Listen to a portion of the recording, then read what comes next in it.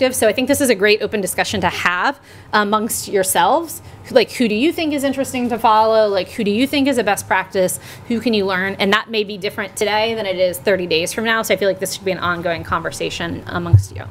Um, we go back to one of the Yeah. That's a Facebook post on the right. Facebook post on the right, uh, Twitter post here, and Instagram here. Who Just Who, the, the uh, hashtag preventive medicine, that something that the, that she created or? I have no idea. I think she probably did, yeah. Okay, so who's gonna see that? anybody that follows her or looks at her page. So the ha- again, the hashtag is not really important. Um, people use hashtags to organize around, but they also use hashtags for sarcasm and for like organization. But, so but that's for, that's for Twitter, no? I mean, it, hashtags work on um, pretty much all social media accounts. So hashtags, all, literally all hashtags are that number sign with no space and a word behind it makes that clickable.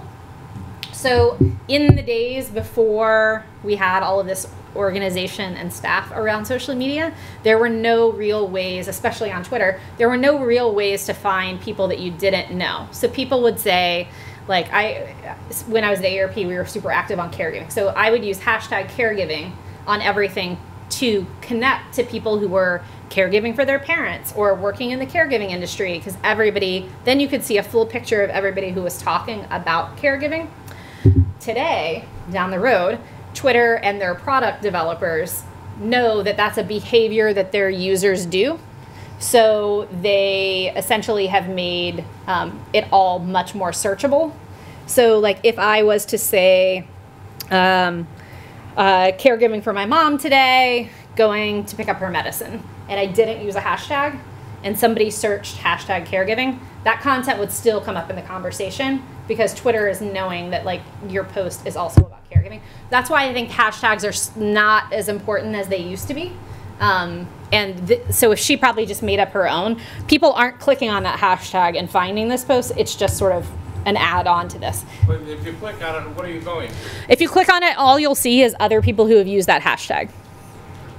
It's just an organizing Which, function. which is helpful. Like I know, um, it seems a little weird, but then when you're looking for certain stuff, like I work for Orange County Public Schools, and one of the big driving things that I was tasked with was to hashtag smart as cool.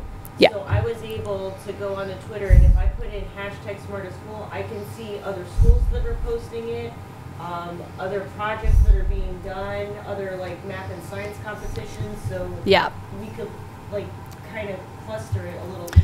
Yeah. One Instagram actually incentivizes this um, in a way that I feel like other networks don't. So like if you're putting a hashtag on Instagram, you'll see like they all they basically have a, uh, a directory that pops up, and it will show you like if you're typing in hashtag social media.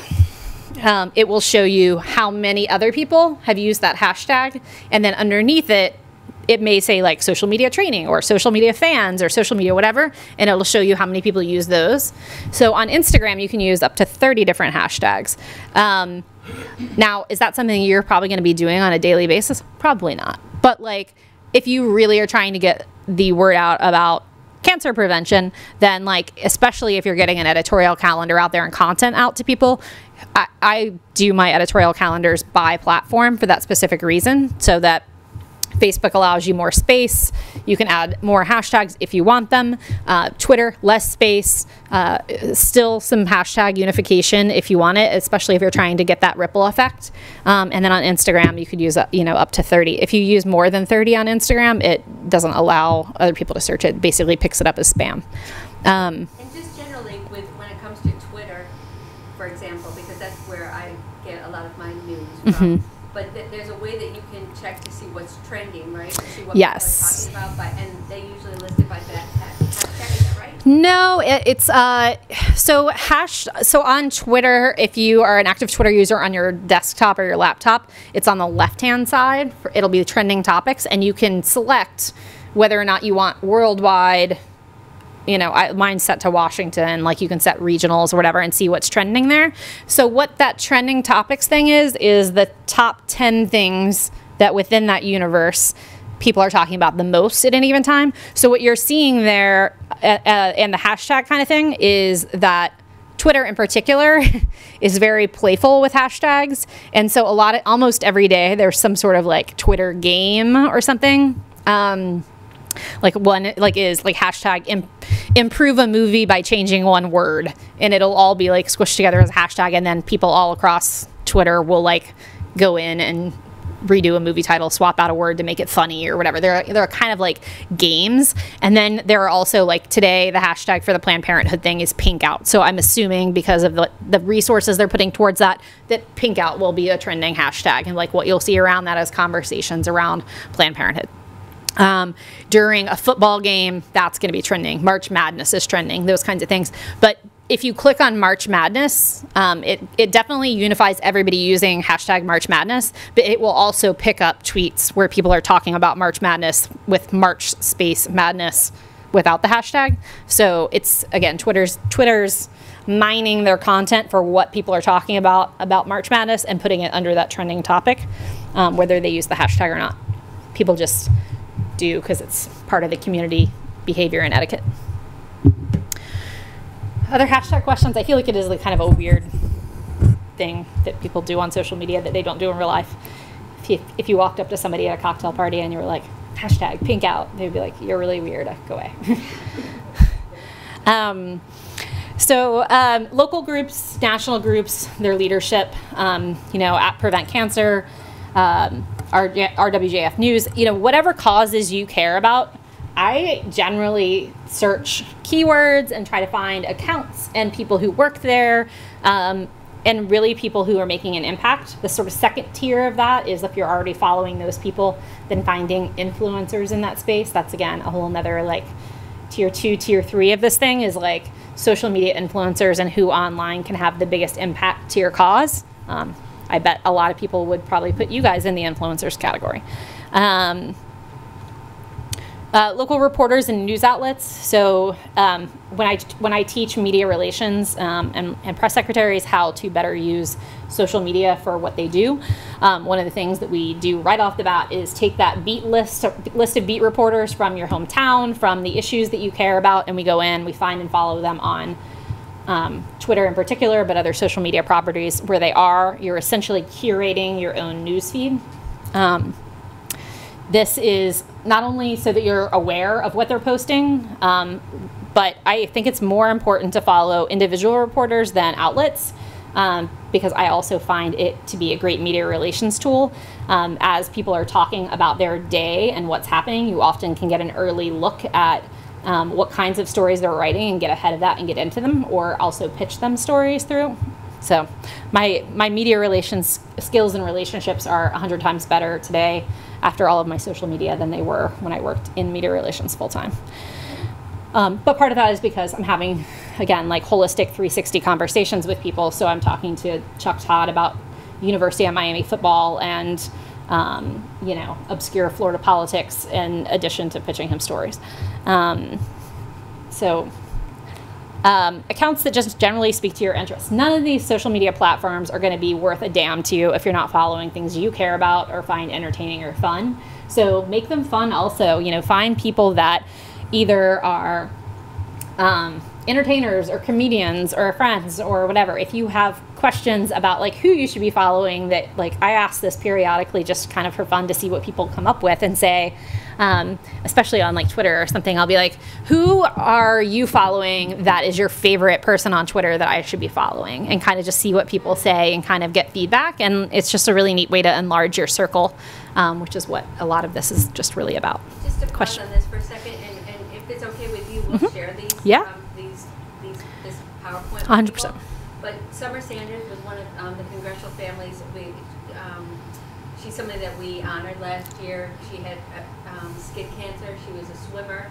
She is a swimmer, and she she found her her first or second skin cancer on her own. And I mean, I guess she had she she had melanoma, which you could see with a swimmer. You're outside all the time, but she actually. Um, then had a suspicious mole, and her doctor was like, "Don't worry about it." She's like, "No, no, no, I am worried about it," and it turned out to be a second um, melanoma. So that's why we picked her. Sherry Pagoto is a UMass medical. She is from our district, but that just happened to be a coincidence.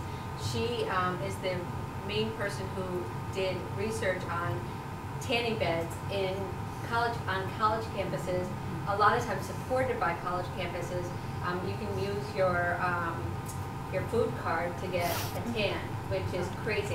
um, so she's the one that did the, the um, definitive study on that and is working to you know try to pressure colleges to you know back away from those policies. And Dr. Ann is a nutritionist, and she I'm sorry. Do the parents know about it? Yeah, I, well, Uh, exactly the. I went to Florida State. I can't even imagine how much that is abused there. Yeah, I, yeah, and, and, and either they're literally on the campuses or near the campuses, Yeah. but semi-subsidized or promoted Mhm. as part of the um, Health programs. part of the um, marketing tools. Mhm. And then Dr. Ann is a nutritionist that works with our foundation a lot, and she's done several seminars with us, and she, you know, does um, you know what to eat, what not to eat, that kind of stuff. So those are why we are sort of a little bit more curated for our audience. Yeah, and then uh, you know a, a sort of second tier way of if you're looking for other interesting people to follow or influencers is to sort of rabbit hole down who Summer Sanders is following and see if there are any interesting accounts you find there or who's following her.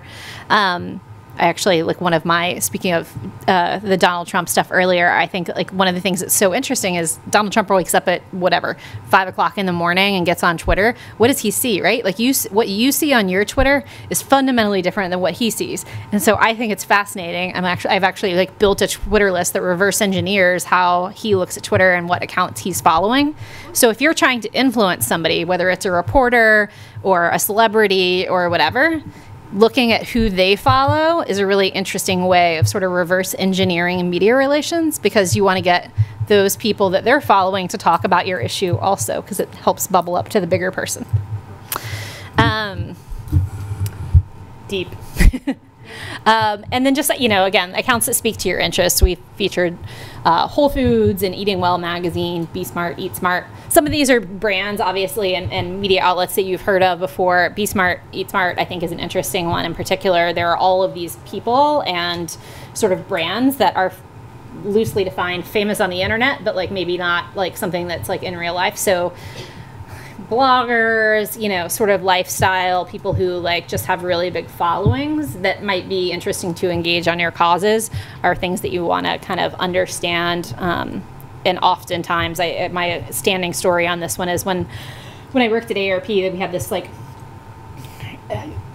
total screw up essentially that like led to um, the New York Times and the Wall Street Journal misquoting somebody who was like uh, a member of the executive team on Social Security, and so like the progressive internet lost their minds because they thought they thought AARP was uh, negotiating on Social Security, and we ended up having to like reverse engineer that message back down across the internet from the CEO that we weren't.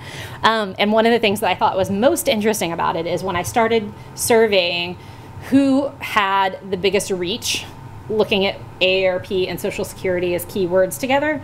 Um, most of them were things that you had heard of before. They were the Hill outlets or the reporters that we deal with all the time. Um, number three on the list was a guy named Ray Beckerman, who nobody had ever heard of. Ray Beckerman lives in Staten Island. He's a lawyer in New York, not particularly active in AARP, and he was just pissed off that like AARP was doing this, and he has a huge audience. And so I remember giving this talk at AARP afterwards um, that was titled "Who is Ray Beckerman?" because of course nobody knew who he was. Um, but I was like, you know, part of this is like Ray. As soon as we reached out with, to Ray with the CEO statement and said, "Here's you know the CEO statement," um, would really appreciate you sharing it with your followers. He did immediately. It helped us tamp down um, sort of the outrage within that community. Uh, we put him in touch with the AARP New York media team and started inviting him to like press conferences and building a relationship. And you know, I think you know in an, in an ongoing way now that's a dialogue. And so whether it's you know, whatever your Ray Beckerman is, you know, might need to be added to your media list or who you're following because they might be more influential in some ways than um, a reporter or an outlet is. Yeah. Crazy. I always wonder if Ray Beckerman's ever, if the story has ever trickled back to Ray Beckerman that it, how much time we spent talking about Ray Beckerman at AARP. um, uh, accounts that speak to your interest. Uh, you, this is just a whole sort of like round uh, roundabout of uh, sort of Washington D.C. fitness kind of accounts. This, you know, is this is like a good smattering. But if you, you know, if you're a Cubs fan or a White Sox fan, this looks a little different. If you love yoga but you hate spinning, or you uh, hate exercise in general. Like maybe this isn't like the exact distribution that you have, but you know you want to follow things that are not just about the cause or just about um, the news things that you're doing to make it more interesting to you. So we're gonna talk a little bit more about trolls and like response. Um, so in general, what is a troll? You know, uh, this is a loose definition, um, but you know, anyone, especially anyone, it can even be somebody you know, right? Everybody's got that. Everybody's got that friend or a family member who is a troll. But uh, but I think it's like it's an internet term in general for people who are sort of like haters or constantly of coming at you on social media. Um, and you know, we talked a little bit about this earlier, so I'm not going to like repeat the whole thing. But again, you can mute them, you can block them, you can report them. Um, I actually had an instance when I was at AARP that uh, somebody like had a legitimate threat towards a, a, staff member of mine via Twitter, um, and I will say uh, I was very heartened to see that the um, DC police took it very seriously. Um, it was like something like a bomb threat. And again, you think it's probably like, that's probably not true. And it's probably just somebody trying to scare you, but like you don't really know, right? And you're just like a staff member, a low level staff member at a nonprofit. Um, but DC police actually took it very seriously. They placed a car outside of her house for 24 hours and like very much took it seriously. So I, I would not be afraid to pull that card if you need to to um, report that to Capitol Police. Um, uh, this is my favorite thing on um, trolls. There's a guy named Scott Stratten who he's unmarketing on Twitter, and he's a sort of social media marketer. And he sent me this poster that I had on my wall for years at AARP. That is like, remember, you are not the jackass whisperer. It is not your job, nor your mission, nor should you be compelled to respond to every dipshit on the internet. Okay, so like, if you're going to be out there and you're going to be a public figure, people are going to say stuff, but you do not have to respond to all of those things. You do not have to engage as hard as it may be, sometimes I have to just walk away from my computer and walk around the block and let it go. Um, but you know, I think you see this with brands who sort of get into back and forth. United Airlines had like this, the ridiculous leggings controversy this week. Um, you know, if they had just not engaged, none of that would have happened. As, as, as a result, does everybody know about the leggings thing?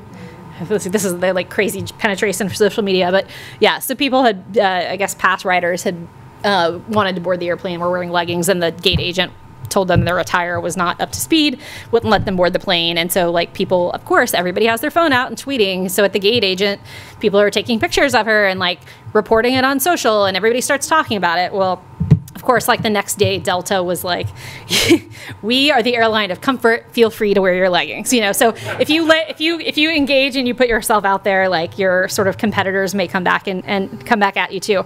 Um, but you know, I think this is the thing is, you know, whenever we're in these public positions, whether it's a speech, whether it's a public event, whether it's Twitter, we all can be approached by somebody who doesn't have our best interest at heart and or is just trying to antagonize you or whatever. And just knowing that you don't have to take that bait um, or run it by a friend or and maybe this is like where if you do have a facebook group or something like that you can share experiences or tactics and things that have worked.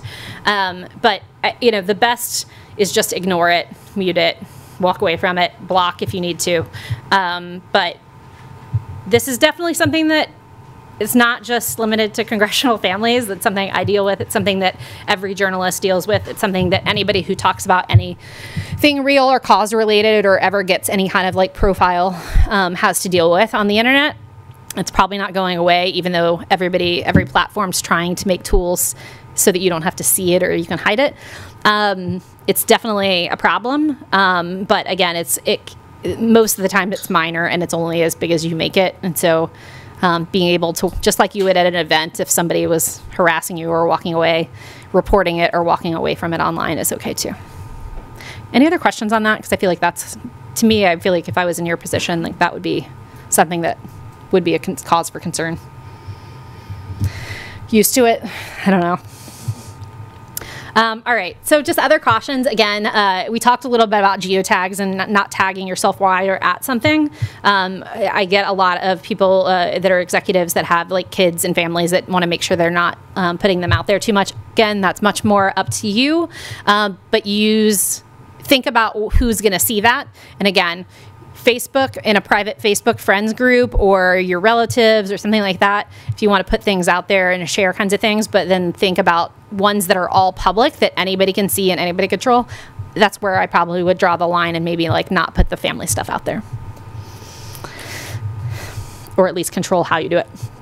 Um, who you follow and retweet again we kind of talked about this in the sort of fake news zone but like if you're retweeting and you're sharing things really without looking or researching those things a lot of times it's really easy to get duped into sharing things that aren't true or can get you in trouble later um, uh, I'm going to bring up direct messaging because all of these platforms have ways to talk publicly and ways to talk privately. So um, that is another sort of I mean, I feel like when it comes to like we were talking a little bit about Instagram and like sending the videos back and forth or Snapchat with the videos back and forth, if it's Twitter on direct message, it's private between the two of you on on Twitter and only can be seen on direct message. But I think a lot of people, um, especially people who are new to Twitter, can get in trouble with. Uh, and not even people. Like, this is like the Anthony Weiner thing, right? Like the you can get in trouble with Twitter where you think you're having a direct message conversation, and it, or you think and it's really like a public conversation. So like until you really start understanding the privacy settings, um, I think like still double check yourself. Um, but understanding like what's private and what's public i think is going to be really key to your success and to really being engaged in using it. Um, and then you know just in general thinking about like when you're posting like what does this say about me? You know to we talked about this earlier but the the internet uh, moves fast but has a long history. Um, so what you're putting out there says something about you personally. Um, and so when you're kind of again hovering over that button to post if you feel great about it post away. If you're a little bit concerned that it might get you in trouble down the road, uh, you know, think it through and maybe don't post, kind of thing. So continuing to stay current. Um, you know, I feel like you can kind of do this to the extent that you like to, but there are a lot of people that I follow and I share best practices from. So I'm going to give you the easy button to do it. Is I have an account called C Suite Social um, on Twitter. It's at hash. It's at C Suite Social, um, and so I only follow either people who are like executives, CEOs, CMOs, sort of like leaders who do a great job of social. So it kind of gives you a list of people that you might want to follow for ideas. And then I try to share news and best practices that give people who I do trainings with tips there. Um, but if you see one that either is recurring or that you think is really great, again, you're always trying to enlarge that circle and curate your news feed. So if you see one there that's particularly interesting to you, just make sure to go in and follow them also so that you start having that come to you directly. Um, there are, and if you uh, if you tweet me or direct message me, I will like send you more. But I didn't want to overwhelm in the presentation. Um, but there are all kinds of people who sort of sell social media snake oil and are like, you know, everybody's an expert and everybody's a guru, and you know, I don't know use use your judgment of like what is what is true and what is not but you know essentially they're always changing. All of these profiles are changing. Uh, people who are in a very uh, executive and visual role like members of congress ceos things like that are very much some of the like the the last people to come to social media as active users. So i think it's a really fascinating space right now. Um, so i'm i generally the things that i'm looking for when i'm showing a best practice are somebody who understands the community and talks and, and recognizes the language of community. And so, how they tweet makes sense. It's within 140 characters. Sometimes it's a great use of hashtag around a cause, but it, you'll see that it's very much showcasing people who show a 360 version of themselves. So, it's a mix of personal, professional, and cause related. Um, and I think that's the kind of thing is like if you think about it's super, you know, probably not intuitive to look at yourself and think about like what's the distribution of like my content strategy for my twitter account?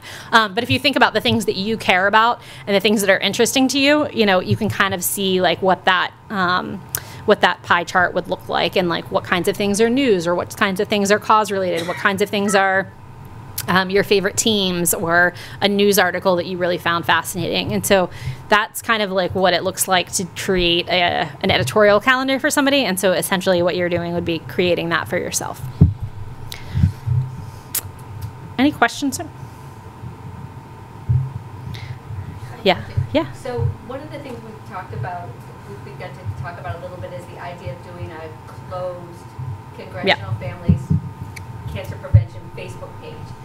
What would that be good for and, and how would that work? Well, uh, closed Facebook groups, I think, are really great for um, both sharing messages. So you could you could one of the things we talked about was easy button content that pre- the Prevent Cancer Foundation could create. You know, like a weekly Facebook post or a weekly tweet to share that people could then just come in, cut and paste, and share on their pages, or tweak and make more personal for themselves.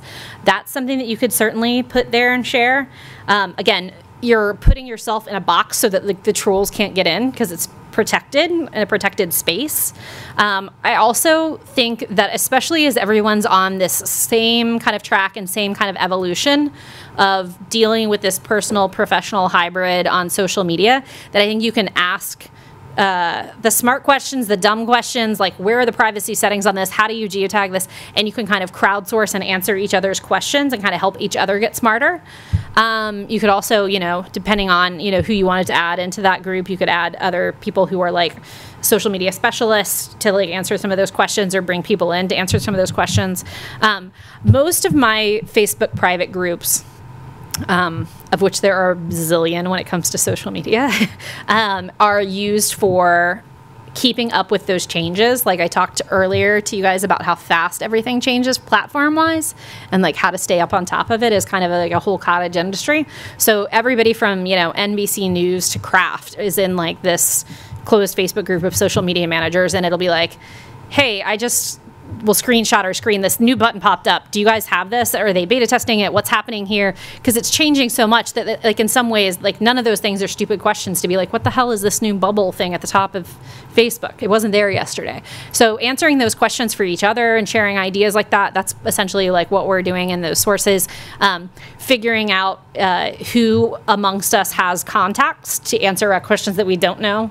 So, like, that's a, that's a lot where, um, we were doing like Facebook Lives from the mall for a live broadcast on PBS last summer. And it was like, the answer to what you're asking doesn't exist. So how do you figure it out, right? And so it was like, okay, this person knew this person at Facebook who was piloting this program, and you're kind of like figuring out with amongst your network in that private Facebook group who has the the right person to figure out a solution to something. Um, and I think that would be effective for you guys. Um, you know, and, and to your point earlier, um, if you were to do something where it was a collective action, like you were all going to uh, pick a either a month or a time period to do personal posts on how cancer's affected your family or how it's impacted your district or whatever that is, you would all be posting that on your own personal pages, which would have a really big impact for your communities. But you could also use a group like that to share that content and when you're posting it to amplify each other or to pull that into a collective space where prevent cancer could amplify that something like that And Facebook Live, can you talk a little bit about that? yeah um, so all of these all of these platforms have or are building live functions. Um, and you can you can attribute this to the selfie generation if you if you will but essentially it's everything everything and everyone is now a live show. So um, I, I, think there's a lot of terrible facebook live out there and there's some good facebook live but anytime uh, facebook in particular uh, launches a new product jumping on it fast is a way to game that algorithm. So they want people to be using facebook live. You'll see they're probably pushing it at you at every angle.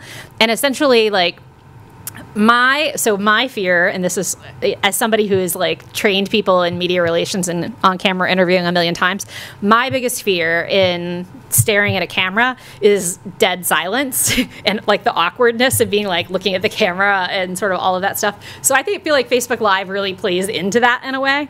So think if you have like those kinds of like feelings about being on camera or on those kinds of things think about how you would um, set up your show differently. So I do a lot of times where I'll bring somebody on to interview, or I'll um, set up a conversation so that you have more people talking. Because a lot of times you'll you'll do something like you could say, "I'm going to do a Facebook Live today to talk about the importance of cancer prevention," and it probably would garner a lot of views and a big audience. But then, like, if you're relying on ask me questions in the comments below and I'll answer them and like people aren't online during that five minutes that you're there, then it's like you staring at a camera just talking and gets awkward. So it's almost like Facebook Live's great and it's a really great tool and it certainly reaches a lot of people right now. But I would also think about thinking about it like you do any kind of like video or on camera presentation that you want to like think about in advance what kinds of questions what kinds of things can i keep talking about or can I set up a Q&A in advance? Uh, can I plant questions in my feed so that I have, like, do I have five friends that I can say, hey, I'm going to do this, will you ask me questions? Um, you know, my mom does that sometimes where she'll, like, log in when I'm doing a Facebook chat. Um, but, you know, those kinds of things are just things you, you know, if you were a TV producer or a radio producer, they would come naturally to you. Um, but uh, for most of us, that's not something that comes natural. And so if you're using Facebook Live, I think that's probably the biggest tip is think about in advance, plan it in advance. What messages do you want to get across? And if they can get across in 30 seconds, get them across in 30 seconds. Like, don't leave yourself out there for 20 minutes. Most of the Facebook Lives, while people, Facebook serves them up to a lot of people, so they'll generate a lot of views, most of those views drop off after 10 seconds. So, yeah. So, I, I, you know, as somebody who works with a lot of brands, one of the things I tell them is if you're if you do, if there's not something every I used to say every 30 seconds, but now every 10 seconds. If there's not something every 10 seconds in that video that keeps my attention, then it needs to be shorter. So, like whenever I was doing like AARP Studios and like how did we get to 1 million view videos, it was by doing that. If, if, if, there wasn't something compelling and something dramatic or a, a some kind of stat that was important in that video, then it needed to be shorter. And shorter video performs much better on social media. So nobody needs to be talking for two minutes about something they can say in 20 seconds. Questions? Video is huge. Like I, I, don't know how much I believe uh, this because I feel like all this stuff just changes so fast. But a lot of why you see so much attention to video on all these platforms is uh, essentially the uh, communications consumption predictions are that something like 80% of news will be delivered by video by 2020, which is not that far away. Um, so you know you see all of these uh, media outlets investing in Snapchat and Instagram and Facebook and how they tell stories via Facebook Live, and um, you're constantly not only telling the news and, and figuring out how to tell the news in different platforms in different ways, but also engage with the audience and manage trolls and bring in followers. And you know it's all these things that you know didn't exist for media outlets 10 years ago. Question We've been putting up uh, congressional testimony. Mhm. When, uh, my wife uh, asks a question, and tries to always make sure that American Samoa is answered so that all of her Yeah. uh, is incorporated and so all the constituents would be interested. But I'm not quite sure, uh, this is on Facebook, I'm Yeah. not quite sure who's seeing this. I mean, you know when, and I'm trying to compare videos to see what plays and Yeah. what doesn't play. You know what it is when you get a lot of comments. Right. You know what, you, what you're getting when you're getting a lot of likes. yeah But then there are other categories like this video was seen by. What Mm-hmm. does that mean? Does that mean they clicked on it and saw it, or so got into their inbox, or? You- You're going to see a lot of change in social media metrics in the next uh, year or two. Um, if you if you follow it uh, as closely as I do, there um, there are basically like Procter and Gamble and all these big brands right now who are holding the social media um, platforms to an audit uh, because everything's so apples to oranges that it's really difficult to say like should i spend my ad dollar on a youtube video ad or a facebook ad or promoted ad? So you're hitting on one of the issues uh, that uh, brands have really served up to these platforms which is i don't know which of these me- metrics matter. Um, so when i was at AARP the the one that i really hung my hat on was shares shares is much harder to get shares is I'm taking this piece of content that you made and I think it's so compelling, funny, interesting that I'm going to share it on my newsfeed with my friends and followers. Most people don't do that. So to me, the way to get at what content is performing really well is shares. Um, what you're seeing as um, people who may have seen the content versus viewed the content, and this gets into again the semantics of like video metrics. Um, may have seen or seen is it visually crossed their path. Yeah. So like if you're a brand and you're paying for people to see your video on like Facebook or YouTube, you could say, I want, um, I want 20,000 people between the ages of 25 and 35 who live in Tampa, Florida, and like Bruce Springsteen to see this video. So it can serve it up into the feed, but that, again, like, it's not, it may not be interesting to those people. Is the video compelling? Does it feature Bruce Springsteen? Or are you just trying to target people who like Bruce Springsteen?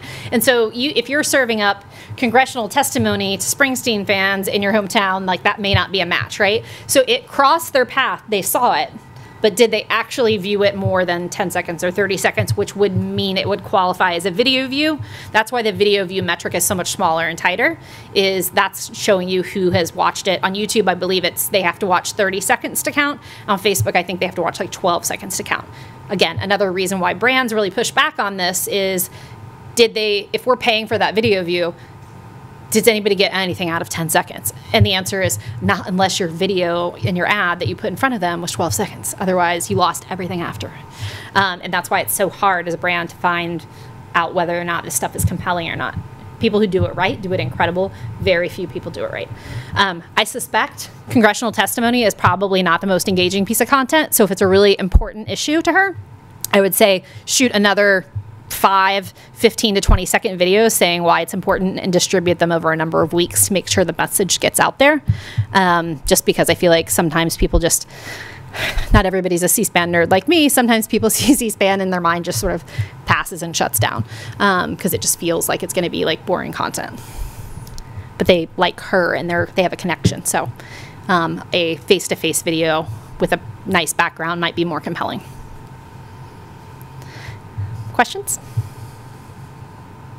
Yeah. Getting back to the, the dumb basics. Yeah, no, they're important. Once you have a Twitter account, what you do with it. Sure. I mean, what do the little signs mean? Oh yeah, yeah, yeah. Um, you know what? Why don't I do this? I have a I have a Twitter basics guide for executives that's like pretty concise that I'll send to Lisa and Cassie to share with you guys, um, and it gets a little bit more into like how to think about your own social media like an editorial calendar. Like um, like one of the tips in there uh, is you know to to set something where you just get because part of this is just habit forming. So like once you're once you're an active Twitter user, you're never going to have to think about like what should I post on a Monday. Um, but the the one of the ways that they talk about it is to do like okay on Mondays share an article that you thought was interesting. On Tuesdays you know, give a shout out to a member of your staff or somebody you think is interesting. On Wednesdays, talk about your cause. On Thursday, you know, it kind of helps you set some parameters around like what's helpful, and it also um, gives you the um, like the very basics of like what's a retweet, what's a direct message, where are those on the mobile app, and those things. Um, so I'll share that with you guys. Yeah. And I have one for Facebook too, so I'll share that too. Everybody's like energized now, like, yeah, that's what we need. I mean, honestly, like you'll you may look at it, but like I would also just like tack it up on a cork board somewhere or like save it because it's one of those things. Little little things change and evolve, so it may. And I think it's probably a year old, but it gets through the basics, and I think is like helpful for you guys. And make sure you get, get folders too, because there is some, some more basic Yes. information. So Please take a folder. If you haven't signed in, please sign in. Thank you, Tammy. Yeah, thanks for so having me. I mean, the thing I love about Tammy is not only the great information that she gave us, but she gives it in such a kind of a fun way. I mean, I will now always think of um, of social media as a cocktail party because I thought that analogy was so perfect, and it really is. Yeah. The people you kind of want to stay away from, and the way that you engage people in it. Yeah. It does not only does it is it a great parallel, but it also makes it more accessible and less scary when you think about it that way. So. Yeah. Well, one of the things I tell people is like if you're writing like what your first five tweets are going to be or something like that, say them out loud to another human being and feel and see how like they do they feel right? Do they feel awkward? Because it's sort of like five tweets is just five sentences, right? So, is it like Hi, I'm this. Follow my cause. Like that would be awkward at a cocktail party. But like, hey, I'm Tammy. I really, I, I'm really passionate about cancer prevention. Next tweet upload a video. Here's why it's important to me. My mom, you know, had cancer and blah blah blah, and like I upload a 15 second video. You know, as long as that's a natural conversation arc, which is I think really hard when you're first starting out to think about stuff like that. But if it's a natural conversation arc, as if you would talk to another human being, as opposed to like a press release headline, that's really where your sweet spot's going to be. Great. Well, Yeah. Thank you. Thank you. Thank you, everybody, for being here. And also, um, stay tuned because I, I want to start, I mean, seriously, I may come to you in your district and come film you thirty to sixty seconds, or we may figure out a way for you to do it yourself. Um, Jim has, in his office, Jim does actually a fair amount of, um, little films, and he has those, those, the, like the white umbrellas and the cameras to have the video quality come out, so we're figuring that out. And I just wanna know that, before when we showed Ted Lieu's profile about, um, husband of Betty, well, here she is, so. We, we, we featured you earlier, superstar. Thank you, everyone.